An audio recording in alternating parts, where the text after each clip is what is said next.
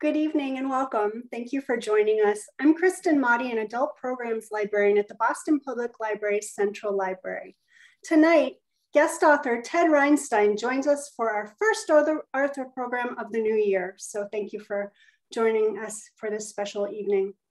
We'll meet Ted in just a moment, but first, a little bit about tonight's program.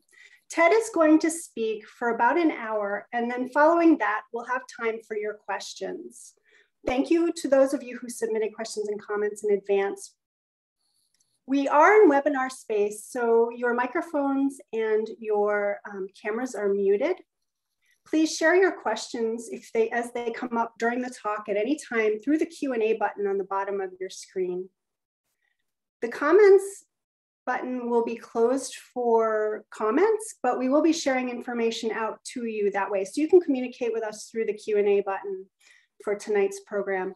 And if you would like subtitles, either turn them on or turn them off, the CC live transcript button on the corner of your screen is the way that you can do that. Our bookstore partner for tonight's talk is Trident Booksellers. And you can please see the information on the screen or we'll share that information in the chat.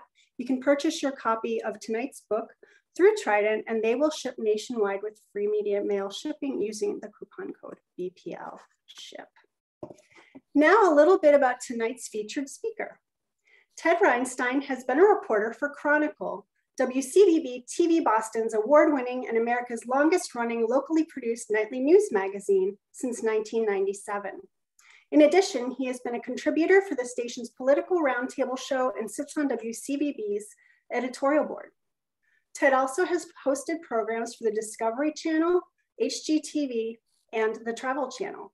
His new book, Before Brooklyn, The Unsung Heroes Who Helped Break Baseball's Color Barrier, is his latest. Ted is also the author of New England Notebook, One Reporter, Six States, Uncommon Stories.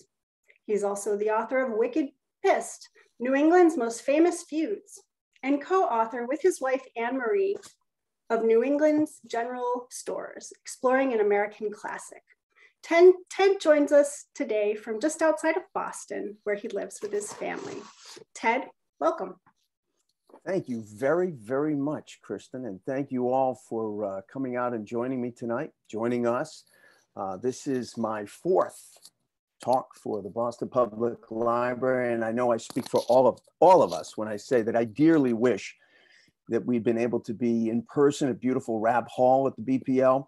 Um, on the other hand, this is pretty much the first time today I've been able to take my mask off. So let's look at the bright side, right? So with that, I'm going to jump in, uh, start the talk. Uh, two or three times during the talk, I will be reading from my book, a selection that's in support of that section of the talk, but I'm pretty sure you're all going to be able to follow along just fine. So with that, we'll jump back quite a few decades and jump in. As he turned right off Boston's busy Commonwealth Avenue and proceeded to shuffle down Babcock Street, not a single passerby would have guessed where the short, slightly stooped pedestrian with an armload of papers was headed. After all, it was 1938. And what possible business would a black man have with the white, wealthy co owner of a Major League Baseball team? But the bespectacled young man was, in fact, headed to Braves Field, where he was to meet with co owner of the Boston Braves, Bob Quinn. It's hard to imagine a meeting of more striking contrasts. The two participants themselves were as different as night and day their backgrounds of entirely other worlds. One man's father had been an immigrant stonecutter from Ireland. The other man's father had been born into slavery.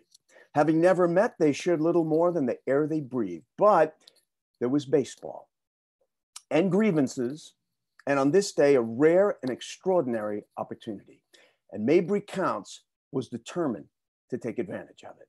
You know, there's a reason why I start the book and end the book with Mabray Doc Kountze. Doc, as he was better known, uh, he grew up pretty close to all of us, I'm sure, in most of uh, where you are tonight. He grew up in West Medford, Massachusetts. He was an extraordinarily gifted writer. Uh, he loved sports. He was not physically himself an athlete. He had been rather sickly and frail as a child. His three older brothers were extraordinary athletes in their own right. but he was a gifted writer. And the reason why I begin and end the book with Doc Kountze is that he's always struck me in some ways as the prototypical quintessential unsung hero in this story. Um, like most of these unsung heroes in the story, he was essentially anonymous, unknown. He was not a celebrity. He was not powerful. He was not famous. He was not wealthy. He had no real political standing. He had no real social standing. And yet he was committed to a cause that was much, much bigger than himself, which was bringing down baseball's color barrier. And it was only joining with others who, in most cases, were just like him, pretty much that same profile, that they were able to find this collective power. So, in some ways, as I say, Doc Kountze really does represent uh, most of the unsung heroes in this book. There's no verbatim transcript of the meeting between Kountze and Bob Quinn on that day at Braves Field in 1938. From Kountze' own writing years later, we get a pretty good sense, though, of what the meeting was, at least from Quinn's perspective, what the agenda was. Um, Kountze was to talk about the fact that the Braves and Braves Field could be made available for Black professional baseball teams and some Negro League teams to play when the Braves were out of town. This was not something that was new. It would have been new to Boston, but it was not something that was new at that time in baseball. By the 1930s, there were major league ballparks all over America, including Yankee Stadium, Municipal Stadium in Cleveland, that were rented out by Negro League and professional black baseball teams for these teams to play on when the major league teams were on the road. So that's certainly what Quinn uh, was expecting. Um, Kountze had other things on his mind he had already succeeded in doing something that nobody else really had done yet, which was to create a meeting between himself and someone representing the cause for bringing down the color barrier and a Major League Baseball owner. So Kountze had other things on his mind as he sat in the executive suite above Braves Field that day. Unlike Quinn, he didn't stand to make a dime on anything they were discussing. His real interest lay with a much wider question than the momentary narrow one of how many black baseball games could fit on the schedule of the Boston Braves or any other major league team for that matter. The long game was much bigger. It was about blacks playing at Braves Field when the Braves were home. It was about blacks playing on the Braves and every other Major League Baseball team.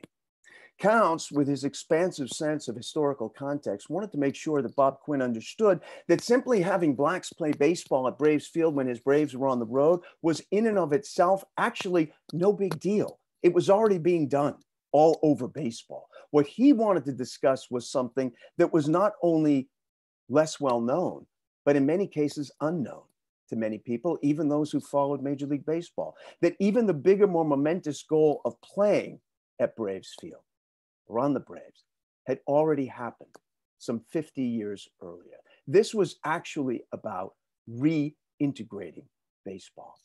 At some point in the conversation, Doc Kountze put down his armload of papers and turned to Bob Quinn and gently prodded the owner. Certainly, Mr. Quinn, he said, as a lifelong learned man of Major League Baseball, certainly you are familiar with Moses Fleetwood Walker. You know, a question that Doc Kountze loved to put to people later on, after Jackie Robinson had broken the color barrier, was this one. After Jackie Robinson broke the color barrier, who was the second Major League Baseball player who was African American? And it's a bit of a trick question, which is what Doc Kountze loved to do with people, because it was Jackie Robinson. The first African American Major League Baseball player was Moses Fleetwood Walker. Most people today have no idea who Moses Fleetwood Walker was. You know, the interesting thing is, most people have no idea that when baseball began in its real infancy in the decade or so after the Civil War had ended, baseball was an outlier in the sense that it was somewhat integrated, not extensively. There were never more than one or two Black players on a professional baseball team. And in the major leagues, as we'll see, there were only a few.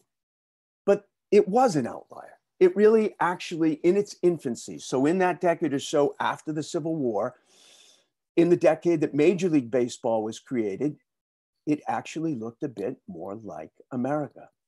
Players like Bud Fowler, who is probably the single most impassioned player in all of baseball, black or white, in that first decade or so that baseball really mushroomed and took off. Frank Grant, the first black player from Massachusetts, the Berkshires, and most famous of all, the Walker brothers. Weldy Walker, the younger brother of Moses Fleetwood Walker, who's sitting in that chair on the far left or right. I never know how that goes at home, right? It's, it, it switches, I think. But at any rate, Moses Fleetwood um, was an extraordinary ball player. He was, without any question, the first real starring black professional baseball player, and he transformed an entire position. Here he's pictured with his younger brother Weldy when they were teammates briefly on the Oberlin, Ohio baseball team in 1884. And he transformed the position of catcher. So this is the period when the phrase backstop to denote a catcher is first created. And at that time, it literally meant just that. You know, today we think of the backstop usually, you know, sometimes you'll see a writer being cute and refer to the catcher as the backstop. But generally today, backstop refers to a physical structure on a baseball diamond, you know, where you keep the ball from, from rolling away. That's what a catcher was before Moses Fleetwood Walker. That's where a team would stick their least talented player who had one job just keep the damn ball from rolling off the field and delaying the game. But Moses Fleetwood Walker transformed it. He was the first catcher to wear shin guards, first catcher to wear a chest protector, first catcher to wear a protective mask, and the first catcher to throw a runner out attempting to steal a base because he was what we would call today a five tool player. He could throw, he could hit, he could run, he could field, he could hit with power. So he was an extraordinary player, and he was good enough that he was signed to a major league contract in 1884 with the Toledo Blue Stockings in Ohio, which at that time was a major league baseball team. So look at the timing of this. 1884 is almost exactly 20 years from the Emancipation Proclamation, the end of the Civil War, the death of Abraham Lincoln. So when a black player, some almost exactly 20 years later, takes the field as the first black major league player in America, this was heralded by many people as a sign that Reconstruction was fulfilling its promise, that we were actually beginning in baseball as the national pastime, a phrase that comes into being at this time, is actually something of a national salve, a national balm. It's actually reknitting, rebinding a nation that had literally torn itself in two. Not everyone felt that way not everyone felt that way. And for our story, not everyone felt that way, even in that very first game that Moses Fleetwood Walker debuted in as a major league player. And no one felt less that way than this guy. Adrian Constantine, better known as Cap, he was the captain of the Chicago Cubs, Cap Anson. Cap Anson was undeniably the first bona fide superstar of Major League Baseball. In baseball's first decades, he was the superstar of Major League Baseball. The Cubs were the marquee baseball team, sort of the, the, the, the New York Yankees of their era. He was a slugger.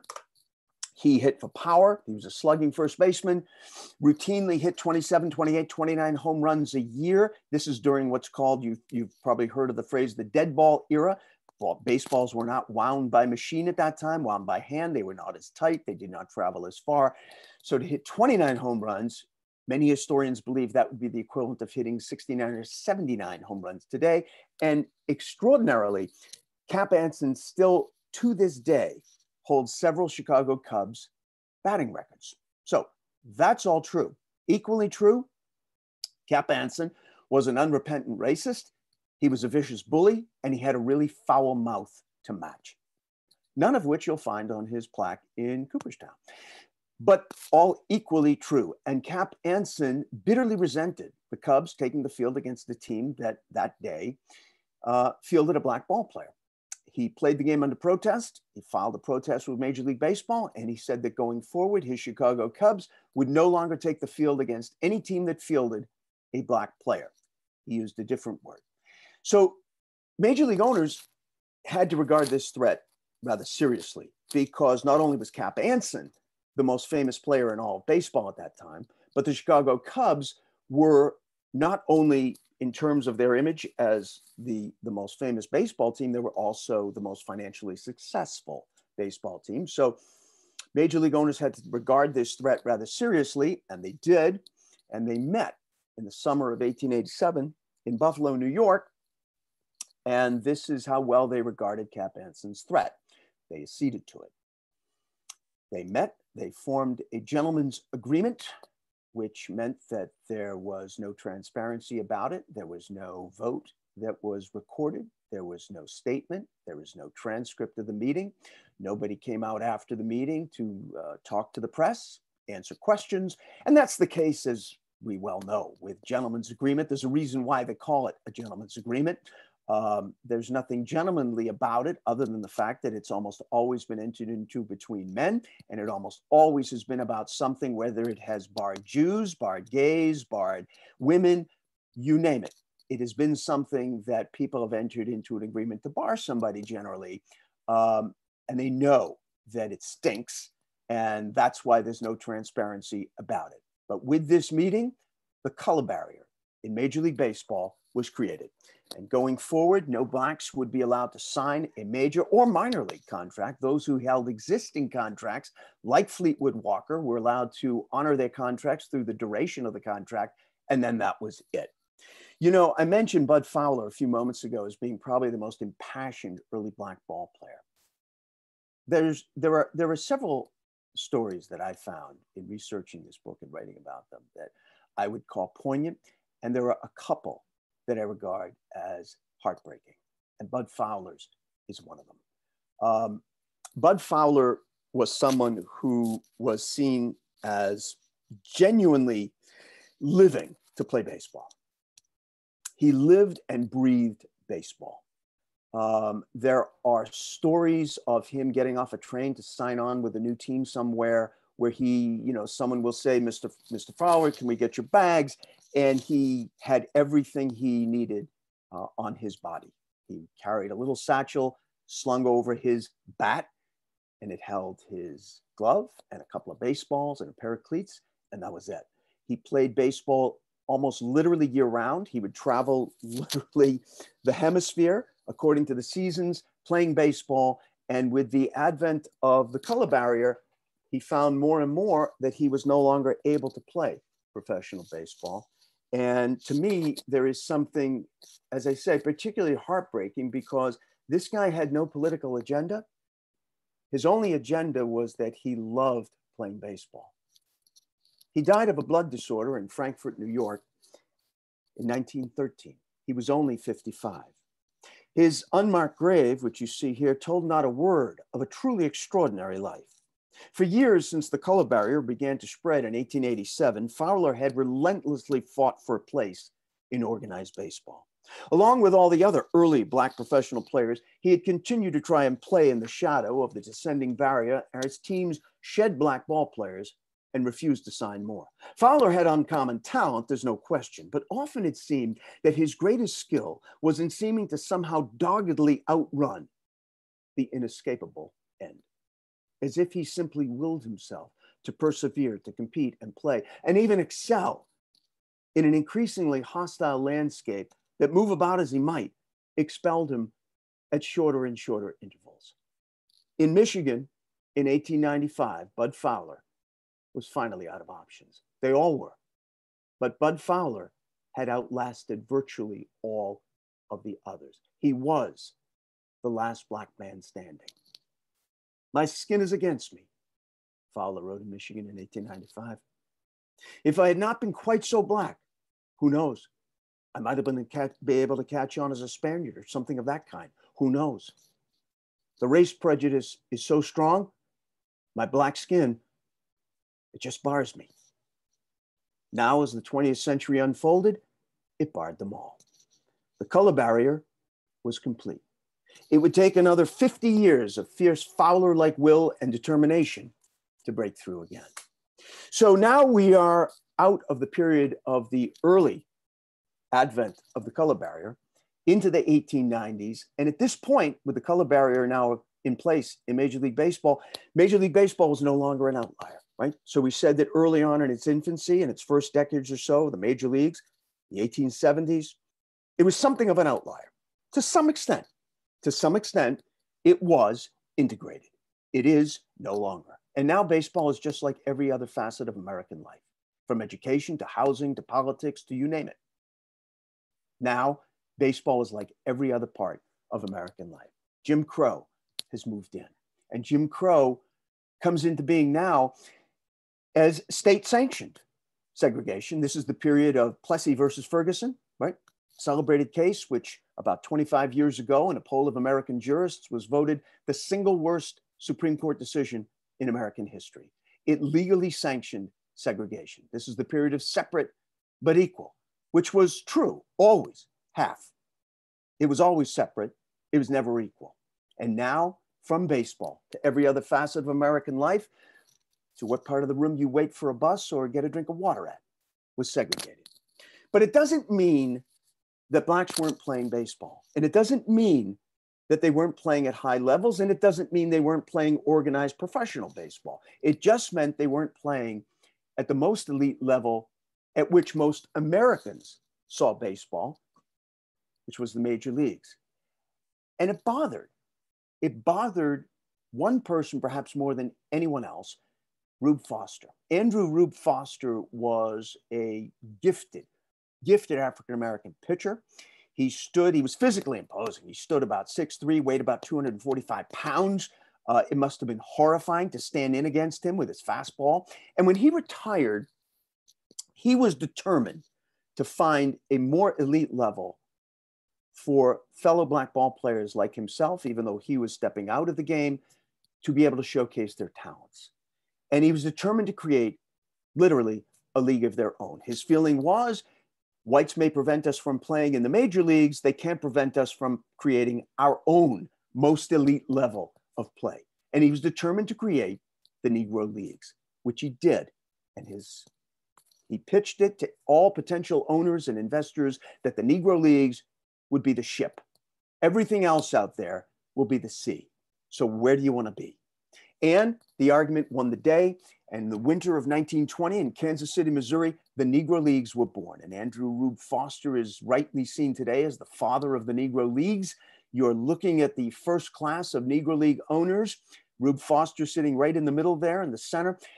Want to draw your attention in that front row to Rube Foster's uh, left, again, or right, um, the only white owner in the history of the Negro Leagues. So this is 1920. The Negro Leagues will begin to peter out in the early 1960s. They'll be gone before the 1960s are over. But J.L. Wilkinson was one of the first year class of Negro League owners.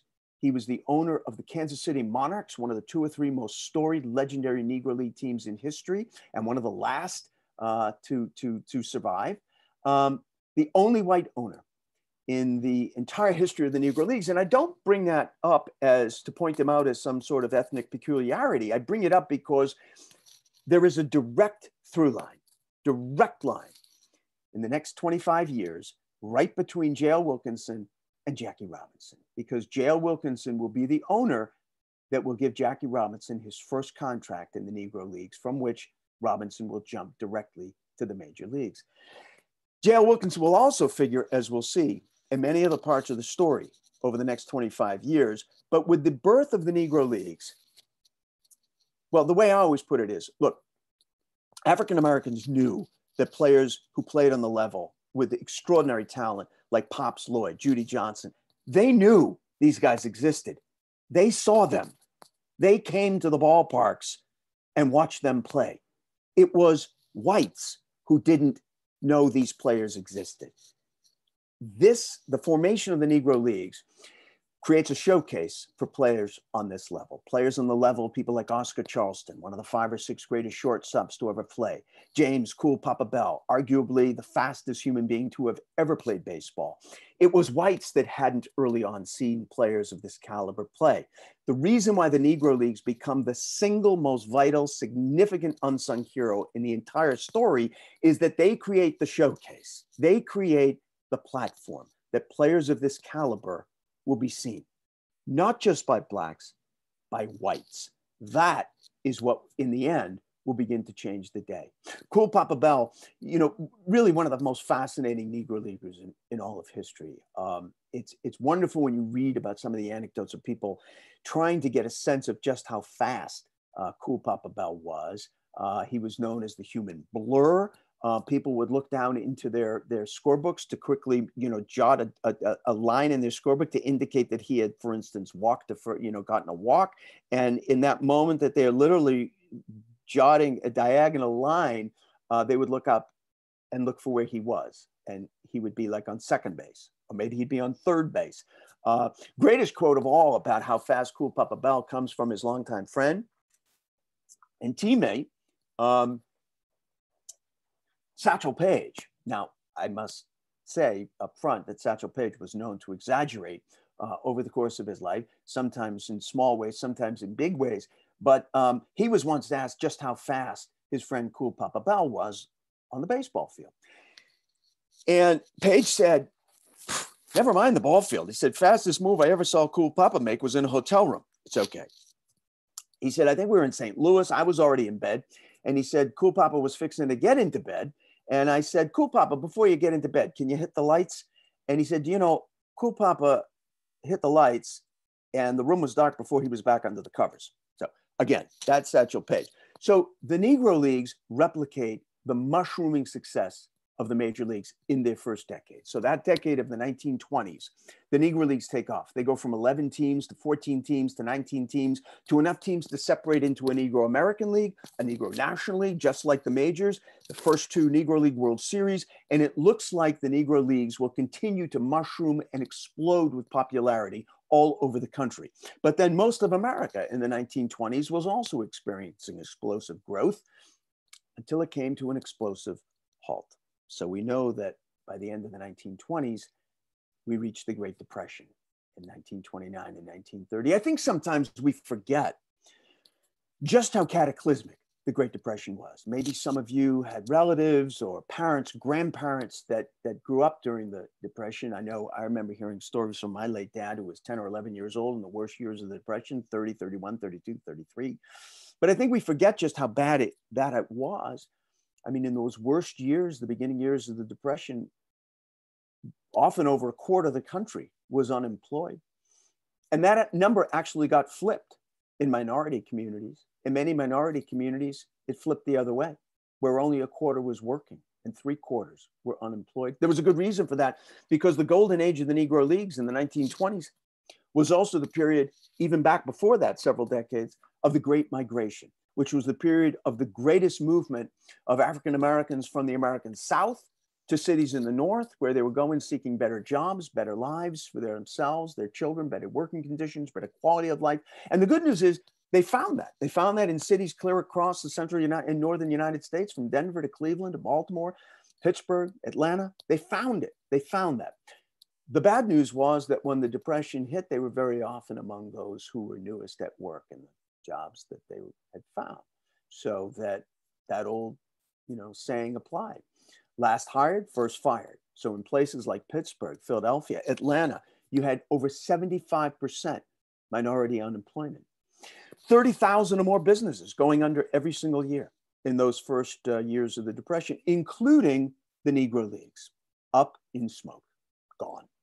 I mean, look, if you are trying to cobble together a few bucks to be able to pay rent, be able to, you know, put some food in front of your children, uh, you are not outlaying money to buy baseball tickets. So the Negro Leagues were gone. Now, the major leagues were also uh, thriving businesses.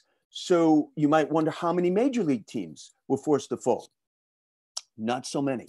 Uh, the difference being that while the Negro Leagues depended entirely on ticket revenue and nobody was buying ball game tickets, um, they did often have slender lines of credit from, from, from black owned banks, but those banks folded.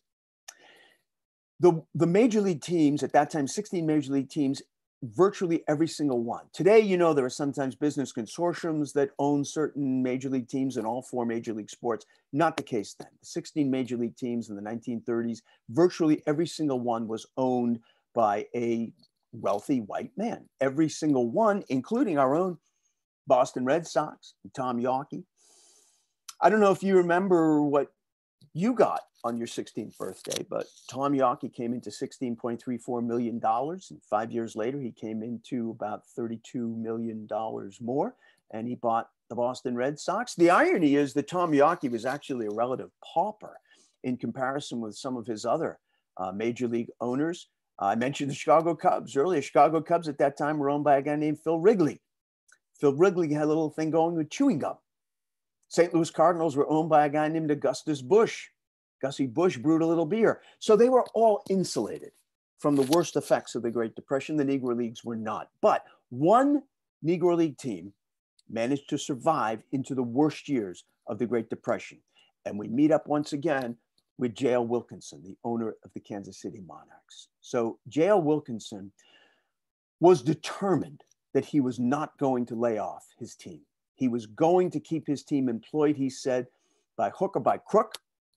And he tried to do just that. And here he is barnstorming through Canada in one of the worst years of the Depression, 1934. And uh, they, they literally, he said, the only way we're going to be able to do this is by playing 365 days a year. And they pretty much did. And again, just like Bud Fowler did in his old days, they literally circumnavigated the hemisphere, playing in the winter in the South and into the Caribbean and Havana and Cuba. And then they would come back up on the West Coast and go through Canada, which is where they are here. And in this way, you know, I thought of JL in October when Aaron Feuerstein died. Now, you may recall Aaron Feuerstein was the owner of the Malden Mills, makers of Polartec in Lawrence, Massachusetts. And in 1992, when the Malden Mills burnt to the ground, Aaron Feuerstein made headlines really world over by refusing to lay off his workers. Even though there was no job for them to go to, um, he kept them all on payroll and he paid everybody until the mills reopened. I thought of Aaron Feuerstein um, with J when he died, and I thought of J.L. Wilkinson, uh, very similar. There's no way they could have kept doing this forever. Um, he would have ultimately had to stop. There was just no way to keep cobbling together enough barnstorming games to do this. And without Pittsburgh, that would have come to an end. The Negro Leagues had already come to an end. But because of Pittsburgh, which is the only unsung hero in the book, which is a city, the Negro Leagues are reborn.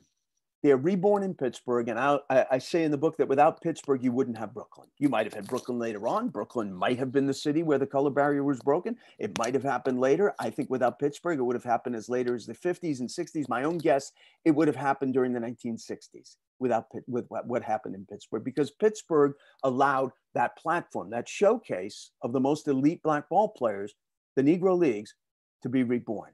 Without that, you do not have the color barrier falling only 20 years, less than that, only about 15 years later. And the Negro Leagues are reborn in Pittsburgh because of two extraordinary men. I mentioned at the beginning of the talk, we started talking about uh, Doc Kountze and Bob Quinn, co-owner of the Boston Braves, as a study in striking contrasts. In some ways, this is a, a study in even more striking contrasts. Uh, Cumberland Posey Jr. and Gus Greenlee, you know, that may look like they share some things in common, right? They're both African American men. They both from Pittsburgh. Um, they both like sports. That's it. These two men loathed each other their entire lives. They were mortal enemies, arch enemies, lifelong foes. Um, how much did they hate each other? The only thing they ever agreed on, but it was important, the only thing these two guys ever agreed on was that it would be a good thing to bring the Negro Leagues back into existence. And on that, they cooperated strangely enough, and they cooperated well. They didn't actually deal with each other, but they cooperated. And just for that, uh, we have to be thankful. But Cumberland Posey, uh, actually, extraordinary story in his own. His, his dad as well. His dad was really a celebrated civil engineer, an incredible black success story for his time uh, in the 18, late 1800s in, uh, in Pittsburgh. He uh, became very wealthy, owned three or four successful businesses, built a big house for his family in the Hill District, the black section of Pittsburgh at that time. And I'm sure he had hoped that his young son, Cum Posey Jr., would have followed him into the family business. But Cum Posey Jr. was a sports nut. He lived and breathed sports, uh, basketball and baseball. Um, here's I'll give you an answer to the to one of the best trivia questions of all, and now you'll know this, and uh, you don't even have to thank me. Um, the only person who is in both the basketball and the baseball halls of fame, Cumberland Posey Jr. You're welcome. But baseball won out. And in late 1920s, a um, group of people come up to him in Pittsburgh and they say, you know, this wonderful team, the Homestead Grays, which has a great history in Pittsburgh, um, but it had fallen on hard times and it was about to completely go under uh, unless somebody was willing to buy it and resuscitate it. And Cumberland Posey agreed to do it. So he took over the Homestead Grays, Homestead, a section of Pittsburgh just outside the city limits, even closer than Worcester is to Boston. He took over the Homestead Grays. He turned out to be not only a great baseball strategist, great baseball tactician, but he was incredibly inspiring to young ball players. He was a terrific coach. He was a great promoter. And his Homestead Grays, uh, it's safe to say he not only resuscitated the Homestead Grays, in 1931, the Homestead Grays had, I think, and many baseball historians think, the greatest season that any baseball team, black or white, any baseball team has ever had. They won 143 games. Let me put that in context. So today, Major League Baseball teams play 162 games. In 1931, Major League Baseball played 154 games. So the Homestead Grays won 143. Um, it was an incredible, an incredible success story. Um, but not to be outdone, Cumberland Posey's nemesis, Gus Greenlee, was determined to try to outdo it. So Gus Greenlee, completely different life story. Uh, his dad brought his family from Mobile, Alabama, up to, uh, I'm sorry, Memphis, Tennessee, up to uh, Pittsburgh uh, for a better life. And they found that uh, but then, of course, the Depression hit. Uh, before that, Gus Greenlee, drafted into the Army, goes overseas, fights in World War One. He's wounded at the Battle of Verdun. He's decorated. He comes back to Pittsburgh and uh, he needs a job. This is the depths of both the uh, uh, Prohibition, era Prohibition, and the Great Depression. Needs a job. He cobbles together enough money to buy a rickety old car and figures I'll drive a cab gets approached one day by a guy who says, Hey, look, pal, I'm looking for somebody to run some bootleg hooch around town, bootleg liquor to a few speakeasies. And uh, how'd you like a job? And Gus Greenlee says, Well, I have a job. This is my job. This is my car. Guy says, uh, How much money do you make in your best day? And Gus Greenlee said, I don't know. I mean, maybe on my best day, I've made, I don't know, eight or nine bucks. And the guy says, Okay, why don't you multiply that by 50? and how would you like a job? And Gus Greenlee said, when do I start? And he never worked um, another honest day in his life. Um, he went from running numbers and running bootleg liquor to gambling and you name it, Gus Greenlee was in it, but it wasn't legal. Um, however, he was a complicated guy and he really was seen very much as kind of a Robin Hood figure in the Hill District, the black section of Pittsburgh in the 1930s. Um, it was routine that if someone had fallen upon hard times, needed some money to cover a doctor's bill for the kids or what have you, an envelope would almost magically appear under their front door and there would be money from Gus Greenlee. Every single Christmas, people knew to open up their door and there would be a big basket with a big ham dinner courtesy of Gus Greenlee. So he was beloved in the Hill District.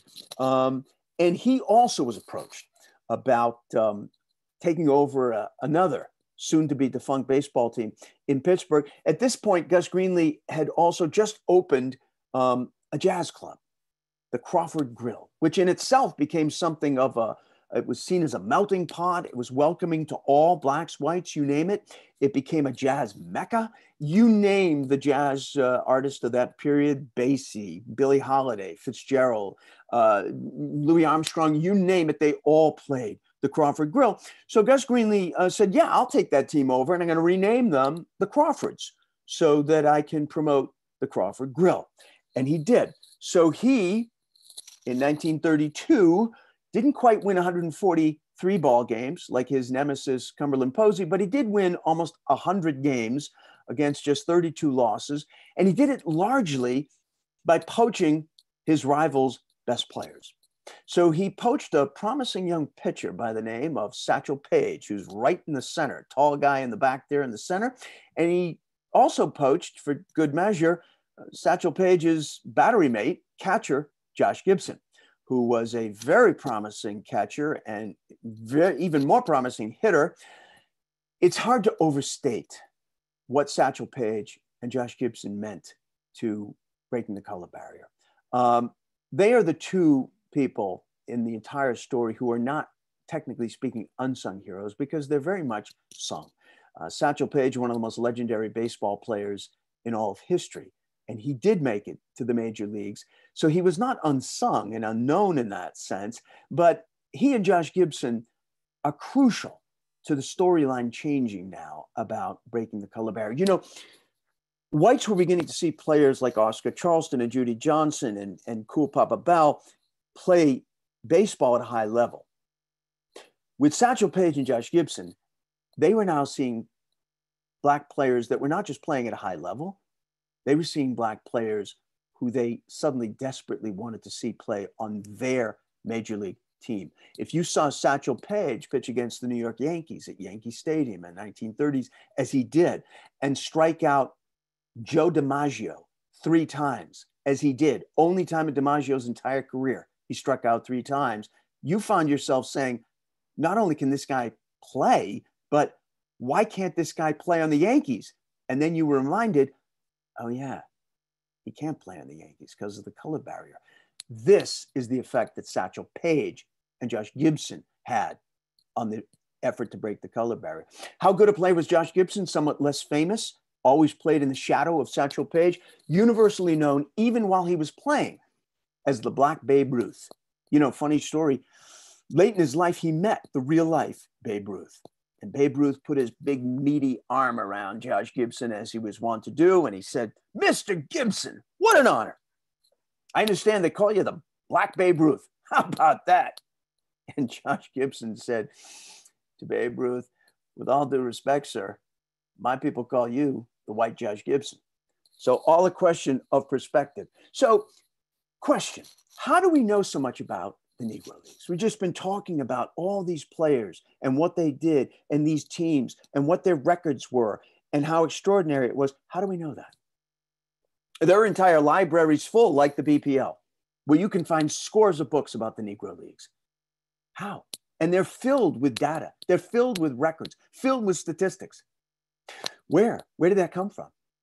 The white mainstream press at no time in the entire history of the Negro Leagues ever dedicated one single sports writer as a beat reporter to a Negro League team, or the entire Negro Leagues for that matter, one reporter. Never happened.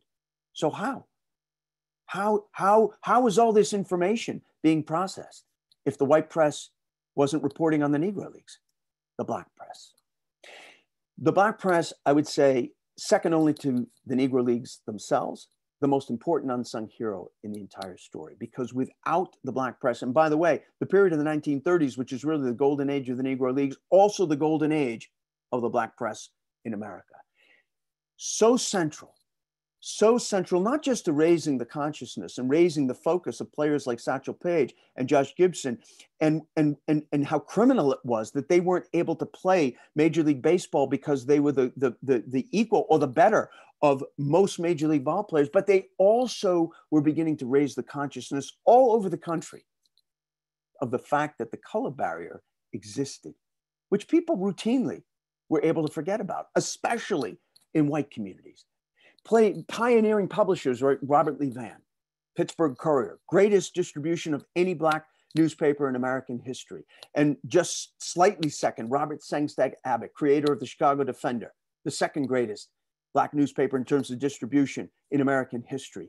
And these guys put found writers like Wendell Smith and Sam Lacy, who began not just writing about the Negro Leagues, not just writing about players like Satchel Paige, and Josh Gibson, but writing about them as three dimensional people.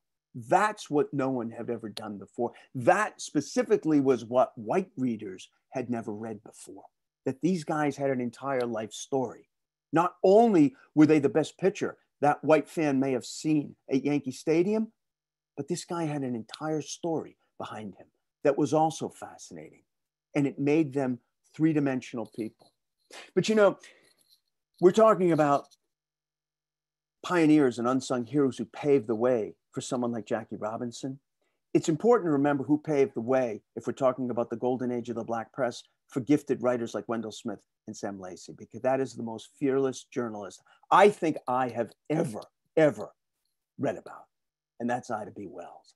Ida B. Wells, tragic story growing up, grew up in Alabama, oldest of six siblings. Both her parents die in a cholera epidemic. She becomes the, the single, the sole breadwinner and provider of her younger siblings.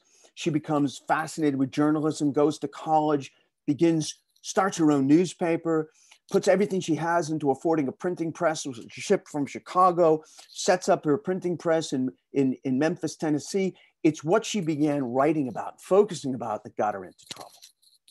She was determined that she was going to introduce the rest of America. She knew that Blacks in the American South knew about lynching because more often than not, they were forced to see it. They knew someone who might have been a victim of it. But she was determined to introduce lynching to the rest of America.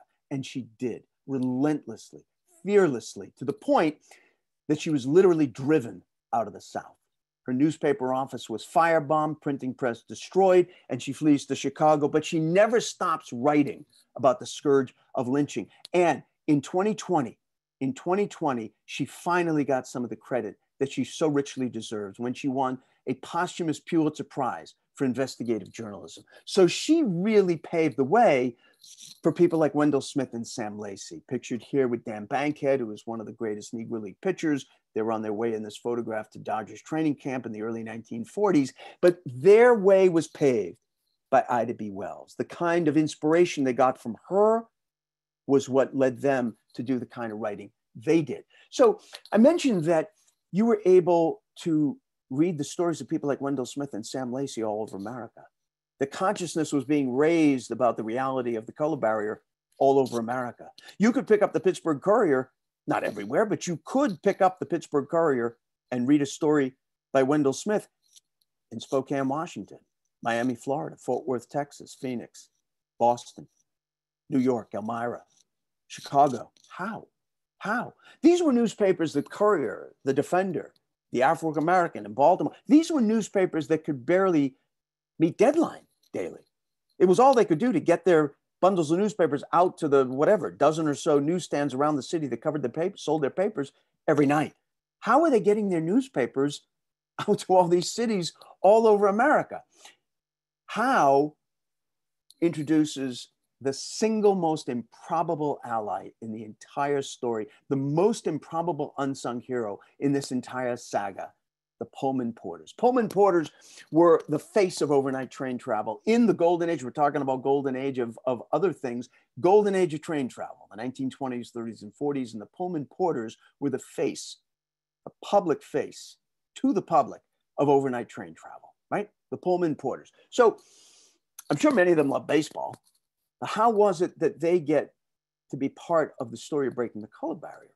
Well, they became a delivery system for Black newspapers all over the country. You know, these, uh, these, these pioneering publishers like Robert Lee Vannon, Robert Sengstacke Abbott, these were incredibly creative, incredibly brilliant guys who always were looking for ways to cut corners, cut costs, but also ways of increasing the distribution, however they could. And in the Pullman Porters, they saw a unique opportunity. The Pullman Porters traveled all over America. They were revered in the Black community, and they really, in many ways, were the beginning of the Black middle class in America. And they traveled all over the country. And so these publishers saw the opportunity here, if they could get them on board literally, to help deliver the newspaper. And they did. How did it work? Well, let's say that a train is leaving South Station in Boston. Well, the Pullman porters were also part of provisioning the trains, right? So let's say they're responsible for getting the bread on board a train that's leaving South Station for a run, let's say down the eastern seaboard. So a bread truck would come from often a black owned bakery in, let's say, Forest Hills, Dorchester, Roxbury, Mattapan, you name it. The bread truck arrives at South Station. So it's got these big, usually five foot high wicker baskets full of bread. Bottom of the baskets, there are bundles of newspapers. In Boston, that could be the Boston Reporter, the Boston Chronicle, the Guardian. The newspapers are unloaded with the bread. Train pulls out, makes its first stop in, let's say, Penn Station, New York. The Boston papers are offloaded surreptitiously. Anytime these guys would have been caught doing this, they never were, but if any of them had been caught distributing these papers, would have been fired on the spot. But they offload the Boston papers in New York, they onload, let's say, the Amsterdam News, they get to Baltimore, they offload the Amsterdam News, they onload the Afro American in Baltimore, and this goes on all the way down through Washington, Chattanooga, Miami. And this is happening on trains fanning out in every direction all over the country. So you can get to a point in 1939, for instance, when you have this great anecdote of a New York Times executive who's on vacation in San Francisco, can't find the New York Times, but to his disbelief, finds a copy of Pittsburgh's Courier. So the Pullman porters were responsible for that. And by now we're up to 1940. So we're only five years away now from the color barrier falling. Now, you wonder how's that going to happen in just five years? Because by 1940, Major League Baseball, this wasn't even on a, an agenda item. It wasn't being discussed, dropping the color barrier. But in 1940, you have another pivotal event, just like the 1920s into the 1930s, the Great Depression. 1940, America is preparing to go to war, right? And in New York, you have another incredibly unlikely unsung hero, um, Lester Rodney. Lester Rodney um, would fit no one's profile of a likely ally in the bid to break the color barrier. Um, he was in New York. He was white. He was Jewish. He was a communist. Hey, nobody's perfect. But he also loved baseball, loved baseball, loved to write about baseball, hated the color barrier, determined to do something about it. But what would that be? Well, he was desperate to find a job where he could be paid to write about baseball. He would have taken a job with anybody. But in the late 1930s, the American Communist Party and its daily, its, its daily newspaper, the Daily Worker, started a sports section for the first time, and they needed a sports editor. Lester Rodney took the job. Um, and he began writing about the color barrier in all of his stories about baseball. And he phrased the argument for why the color barrier was unjust and should and must be broken in a new way, in a way that had never been articulated before because it took into account that America was going to war. And Lester Rodney, almost daily, would remind people that America is going to war, that blacks as well as whites are being drafted, blacks as well as whites are training right now to go off to fight. Blacks as well as whites will be fighting. Blacks as well as whites will die. Blacks as well as whites will come back to America in boxes. And those who come back who are black and who have survived and who play baseball will have just been asked to have die for their country if necessary, but not be able to sit where they want on a bus or play Major League Baseball. And this began to resonate in a new way and in that sense, you know, it's often struck me as there are other social justice arguments that reach a pivot point where suddenly it just changes. It just finally changes. It happened with marriage equality, it happened with, with drunk driving, and it happened in 1940. It began to happen with the question of breaking the color barrier. And a year later, of course, America is at war. You know, I mentioned the Pittsburgh Courier. It was it was a difficult thing. You know, you read poignant stories at the, in the period of African Americans who were going off to fight and who struggled, who struggled with the notion of going off to fight and possibly die for their country, where they will return if they survive, still as second class citizens. And the Pittsburgh Courier inaugurated a campaign called the Double V campaign, double V for double victory. And the whole idea was go off to fight, fight for your country, defeat Adolf Hitler, come home, defeat Jim Crow. That's a handkerchief that was worn by members of the Tuskegee Airmen, the most celebrated all black unit in World War II.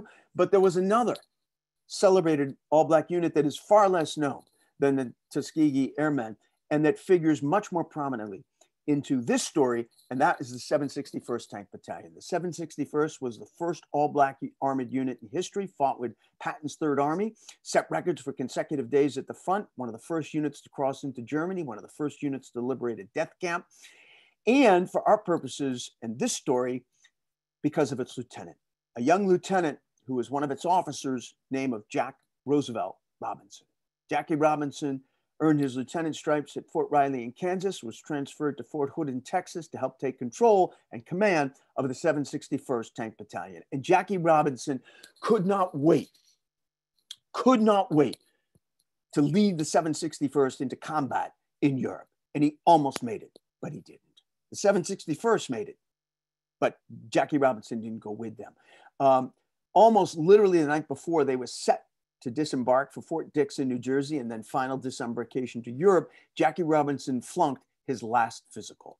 An old football injury was discovered. He had been an All American at UCLA, and an unhealed football injury was discovered. He was not cleared for combat and told he was going to have to stay behind. He pleaded with special permission to go off with the 761st as a special morale officer. It was denied. Jackie Robinson later called it the single biggest disappointment of his life. He realized he was going to have to just simply return to base. He decided uh, that night that he would return to, to, to, Fort Hood and he would get himself a drink at the Black uh, Officers Club on Fort Hood. So he uh, got onto a bus, which constantly was making the rounds of Fort Hood, huge sprawling base, one of the biggest military bases in the world, still the largest in the United States.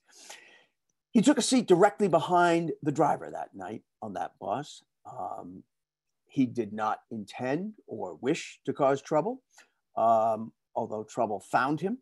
Um, he knew, in fact, that it shouldn't cause any trouble at all.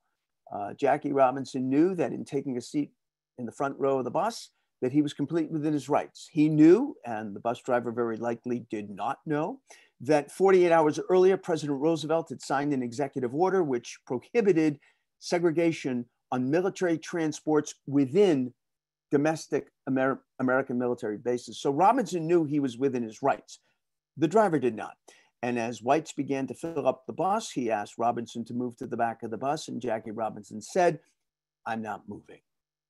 The bus driver, a few minutes later, stopped the bus at an MP sentry post. MPs came onto the bus. Jackie Robinson was handcuffed, removed from the bus. He was arrested, he was court martialed, and charged with disobedience and insubordination. Now, I'm going to guess that most of you had no idea that Jackie Robinson had once been court martialed. Um, and if the court martial had stuck and Jackie Robinson had been summarily dismissed and dishonorably discharged from the American Army, um, you would probably not know anything about Jackie Robinson at all today because Branch Rickey would have never signed Jackie Robinson. Uh, but Jackie Robinson beat the court martial. That was the good news. The bad news is that he was without his unit and he was without a job uh, in 1944.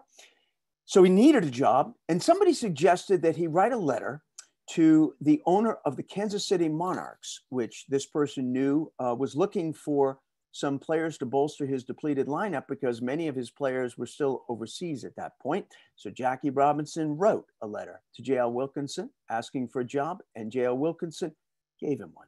So Jackie Robinson in 1945 spring traded his Army uniform for the uniform of the Kansas City Monarchs. And here he is breaking camp with the Kansas City Monarchs in early April 1945. I don't have to, have to ask, even though I can't see you, which I could if we were in person, but I don't have to ask for a show of hands to the question how many of you know that in mere weeks from the time that this photograph was taken, Jackie Robinson would not be in Kansas City. Jackie Robinson would be in Boston, Massachusetts at Fenway Park. Uh, but he was, and he would be, because at the same time that this picture is being taken, so's this one. Izzy Muchnick, at the very same time that Jackie Robinson is breaking spring training with the Monarchs, is sitting in his law office in Boston, trying to figure out a way that he could force one of Boston's Major League Baseball teams to consider at least giving a tryout to a black ball player. Because Izzy Muchnick, just like Lester Rodney, loved baseball loved all sports, but he hated inequality and he hated the color barrier. Izzy Muchnick, in fact, was an incredibly moral person. Izzy Muchnick only the second Jewish Boston City Councilor, would become the first Jewish chairman of the Boston School Committee. Izzy Muchnick, brilliant young lawyer, went to Harvard, went to Harvard Law School. In fact, could have gotten a job with any number of what they used to call the Boston, the white shoe, you know, Boston law firms. Uh, but he wouldn't change his name. And Muchnick from any of those law firms was considered much too ethnic sounding. Um, Izzy Muchnick lived by something that in Judaism is called tikkun olam. Tikkun olam uh, translates literally as repair the world. And uh, Jews are called upon throughout their lives to repair the world however they can, whether it is uh, gender equality or civil rights or simply offering a kind word to someone who needs a kind word. That is also repairing somebody's world. But Izzy Muchnick had his eye on doing his tikkun olam by helping to integrate baseball. And he could not for the life of him figure out how he could find some leverage with some major league teams in Boston. And then one night he found it. He was looking through all these ordinances and city laws and bylaws and zoning laws, and he found one. You remember the old blue laws. Very few of them still exist, if any, but one of them that existed in the 1930s was the one that Izzy Muchnick latched onto because it forbade Major League Baseball teams in Boston playing on Sunday without the unanimous consent of the Boston City Council in a vote that had to be taken annually. And suddenly, Izzy Muchnick realized he had leverage. He was a Boston City councilor. All he had to do was withhold his vote, and he had real power, and he used it. He wrote a letter to the brain trust of the Boston Red Sox. You see the tall guy standing there. The tie is uh, Eddie Collins, himself a former uh, Hall of Famer, and at that time the general manager of the Boston Red Sox. And Izzy Muchnick employed Eddie Collins to at least consider giving a tryout to some qualified Negro League baseball players. And Eddie Collins, who was sort of, you know, this kind of charming Southern guy, uh, didn't know who he was dealing with, didn't know that Izzy Muchnick was a bulldog, was not going to take no for an answer. And, uh, you know, he wrote back, he said, My esteemed Mr. Muchnick. He said, It may interest you to know that in my entire tenure with the Boston Red Sox, not a single black ball player has ever inquired about employment with the Boston Red Sox. So, what is it I'm supposed to do? And uh, he said, uh, please find enclosed some tickets to the next Red Sox game. Anyway, Izzy Muchnick was a bulldog, would not take no for an answer. So he waited and he waited and he waited. He knew he was getting the runaround in about a week before the city council was to take up that year's vote to allow the Red Sox to play on Sunday. He wrote a cable to Eddie Collins. And he said, Mr. Collins, it appears you have no interest in taking seriously my request, and therefore this should serve to inform you I will be withholding my vote to allow the Red Sox to play on Sunday in the upcoming 1945 season. Now, I don't know what the actual time duration was between Eddie Collins getting that and appearing in Tom Yawkey's office. My guess is it was under well under five minutes. Uh, either way, that very same day, Izzy Muchnick got a return cable. There was no my esteemed Mr. Muchnick this time, but Eddie Collins did inform him that the Red Sox would hold a tryout for three, three black ball players. And please have them at Gate D at Fenway Park in the morning of April 12th, 1945. There can be no press whatsoever. Yours truly, Eddie Collins. So Izzy Muchnick had succeeded so far. He had a tryout now for three black ball players for the Boston Red Sox. He knew about Boston bylaws, did not know anything about the Negro Leagues. So he consulted with Wendell Smith of the Pittsburgh Courier. And Wendell Smith did, in fact, pick out three Negro League players Marvin Williams, Sam Jethroe, and a young kid at that time just breaking camp with the Kansas City Monarchs, Jackie Robinson. And they came to Boston and they were all prepared to travel for the Red Sox on April 12th, when on April 12th, 1945, Franklin Roosevelt died and America closed down. So, no trial. 24 hours later, America began to open up. 48 hours later, America is pretty much back to normal. But the Red Sox, curiously, are still racked with grief and still shut down. And they are trying to run out the clock, basically. And all they had to do was get two more days, just two more days, because on April 17th, on April 17th, 1945, the Red Sox are set to open their 1945 season against the Yankees at Yankee Stadium. On an April 16th, they will be catching a train at one o'clock in the afternoon out of Back Bay Station to take them to New York. And they almost made it. They almost made it. But in the morning of April 16th, 1945, the story broke. Dave Egan, a white sports writer for the Boston Traveler, broke the story. It was on page one, and he framed it as a letter to Boston sports fan. And basically, to paraphrase, Egan wrote, At this hour, you don't know this, but there are three Negro pro baseball players holed up where they've been marooned for a week in Boston. They have been promised a tryout by your Boston Red Sox, who are at this, at this moment prepared to skip town and renege on their promise. And the Red Sox realized they had to hold the tryout. So they called Izzy Muchnick. They said, get the players over here. And they did. They trooped over to Fenway Park. They were there and ready to start at 11 o'clock. They suited up. They took the field. They ran the bases. They took some infield. They took some batting practice. Less than an hour later, they were called off the field. They were thanked very much. They were told the Red Sox will be in touch. None of them ever heard from the Boston Red Sox ever again. But just south of Fenway Park, one person was paying rapt attention that morning to this tryout, Branch Rickey. Branch Rickey was horrified that morning that Tom Yawkey, who he detested, um, might go ahead and sign Jackie Robinson, who for a year at that point Branch Rickey had already been planning to sign and break the color barrier.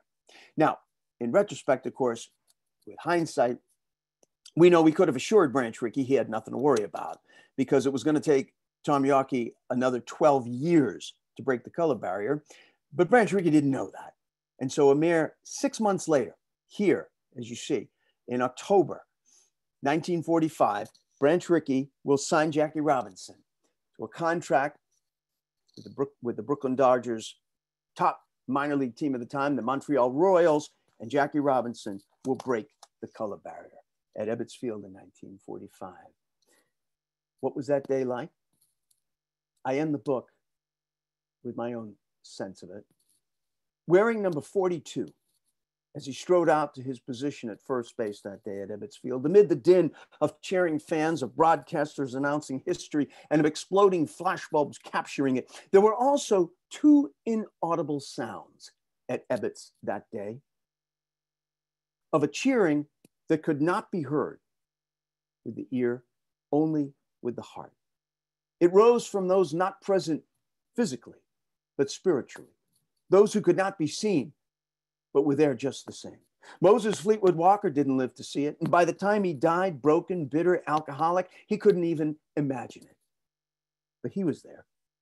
Bud Fowler tried his entire life to outrun the shadow of the descending wall that rose up to deny him at the end at every turn. In life, it seemed that he and his scuffed bat and well worn mitt were everywhere, anywhere he could hook on to a baseball team. A black man desperately trying to just play baseball as long as he possibly could. Now he was in Brooklyn. Ida B. Wells had reported, reported so tirelessly and compellingly on the scourge of racial violence that eyes began to finally open, if only in horror. She had despaired in life that she would ever see meaningful change. Now she was in Brooklyn. Even as they worked their regular shifts that historic day, some rolling along the rails just within a mile of Ebbets Field on their way west or south, the Pullman Porters who had ensured that those stories of Ida B. Wells and other Black journalists would reach readers all over America. They were there. The Negro leaders, past and present. Those who had come too early and those who were young enough to imagine that they too might now walk through the wall. They were there. And the African American veterans, those who had just fought in the war that had just ended, and those who had given their lives in it, they were there. On this momentous day, a ball game was played before a crowd, both present and cheering, and another crowd silent and unseen. They watched the game and they watched the terrible wrong being finally righted. To be sure, even as a black ball player bounded onto an otherwise all white field, racism was still alive and well in Brooklyn and clear on across America. Many other barriers remained in place, many still are. But on this day, on this day, some of the hurt and the humiliation was south. On this day, hope and faith that had long seemed to have run out were finally redeemed. On this day, The long arc of the moral universe seemed to bend improbably toward Brooklyn, touching down on the grass and the dirt of a creaky old ballpark where the familiar white lines would no longer bar a black ball player. And in the bottom of the seventh inning, when Jackie Robinson laid down a perfect bunt and raced toward first base, he was not alone. That invisible crowd was suddenly right there, running right alongside, willing him on. And as Robinson sprinted safely onto second base and caught his breath, they exhaled with him. After all, it had been a long, uncertain journey, and they had helped him get there. The next Dodger batter doubled. Jackie Robinson rounded third, and he was home. Thank you.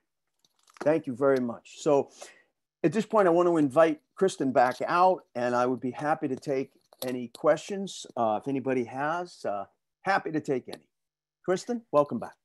Thank, thank you, Ted. That was very informative and rich with history, and we do have a lot of lot of questions for you. Good.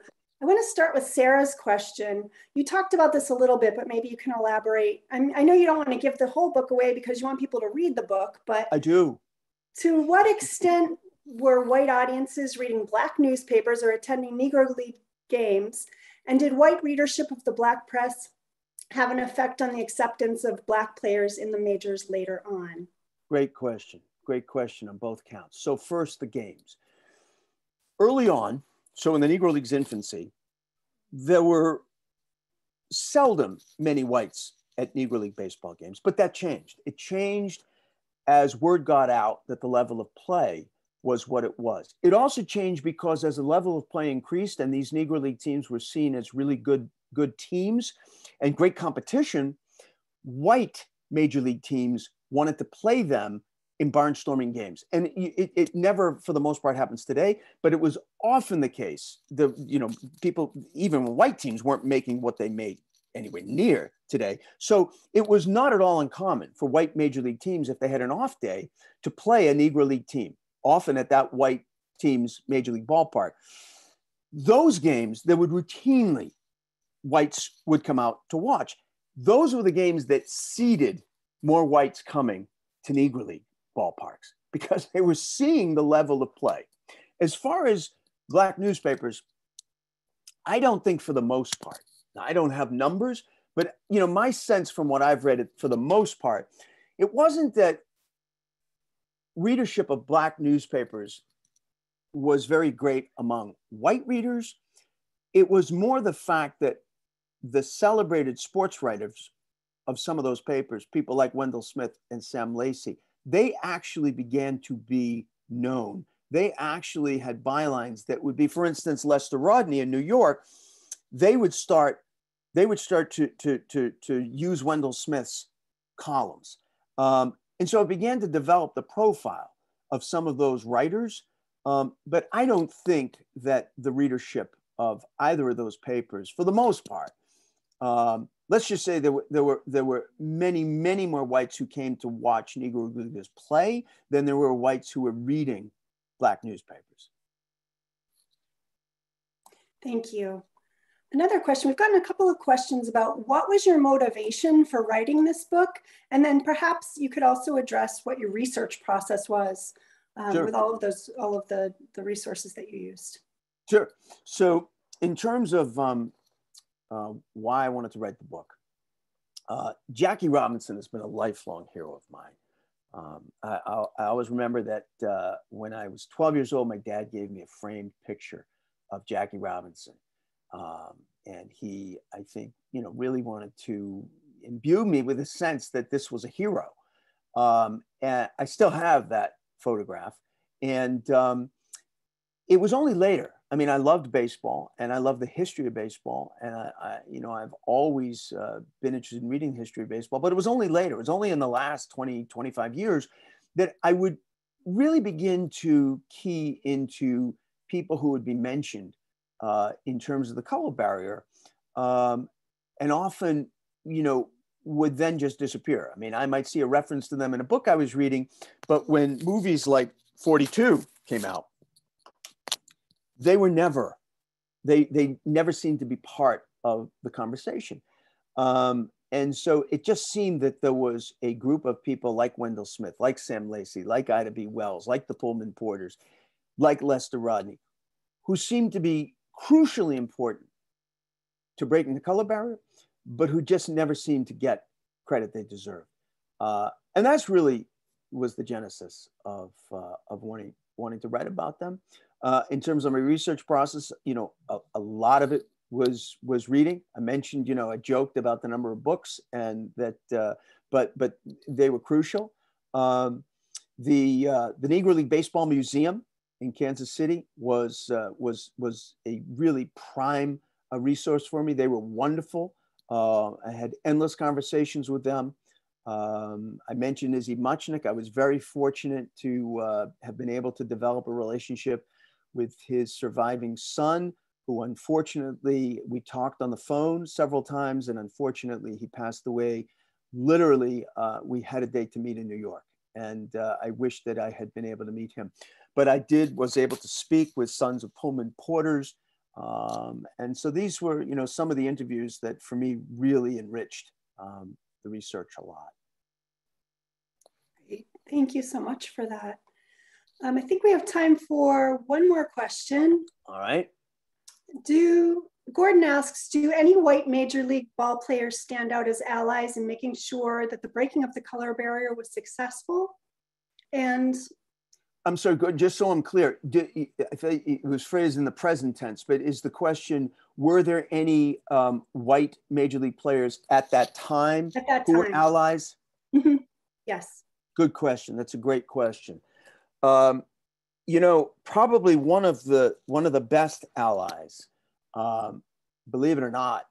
Um, speaking of the Red Sox, uh, certainly wasn't Yawkey, but it was Ted Williams. Believe it or not, uh, Ted Williams had a terrible relationship with the press, but he had a great relationship with a number of black ball players. And uh, when Ted Williams was inducted uh, into the Hall of Fame, he said that the Hall of Fame must do more, must do more. And that was really a crucial uh, part of the Hall of Fame, which today has, has, has made leaps and bounds in terms of their celebrating the Negro Leagues and the role of uh, not, not only the role of African Americans in baseball history, but also the, the, the, you know, the insidiousness of the color barrier.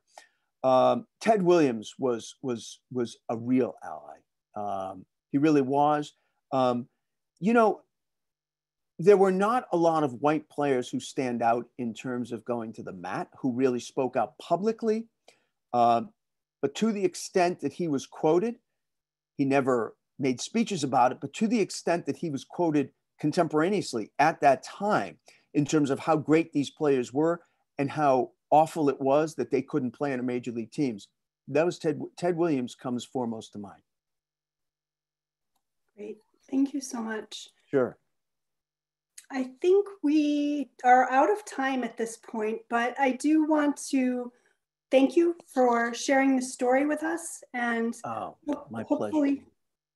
hopefully people will now go out and, and get a copy of the book.